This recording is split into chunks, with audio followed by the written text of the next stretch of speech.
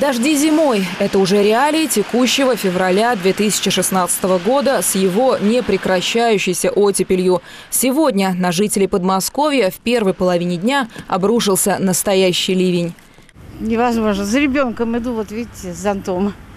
Это ужас. Никуда даже, идти даже никуда не хочется. Так, а что, весна наступила? Или уже лето, непонятно. Со всего течет, работаю дворником. Вот, ну что сделаешь? У погоды нет плохой погоды. Слякотно, настроение не очень. Ну, скользко. Ну и мокро, само собой. Активный южный циклонический вихрь, идущий из Балканского полуострова. Так объясняют синоптики.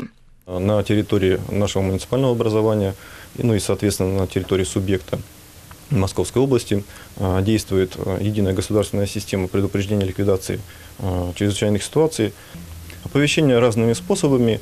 Один из способов – это СМС-уведомление, СМС-сообщения с помощью всех мобильных операторов, которые осуществляют деятельность на территории Московской области, в том числе Ленинского района.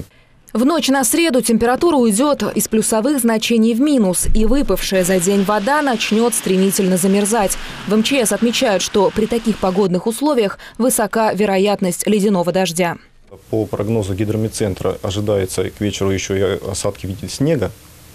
Естественно, будет образовываться наледи, в связи с чем гражданам мы обращаемся в том числе и пешим порядком личный состав выходит как бы, а, в город, а, на улицы и доводит до населения о том, чтобы а, помимо того, как соблюдали правила дорожного движения, соблюдали дистанцию, ездили аккуратно, были бдительны.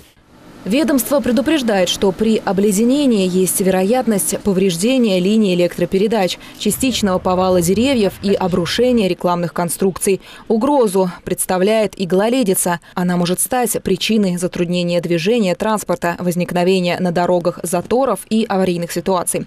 Наталья Буслаева, Евгений Петров, Анастасия Нурхонова, Видное ТВ.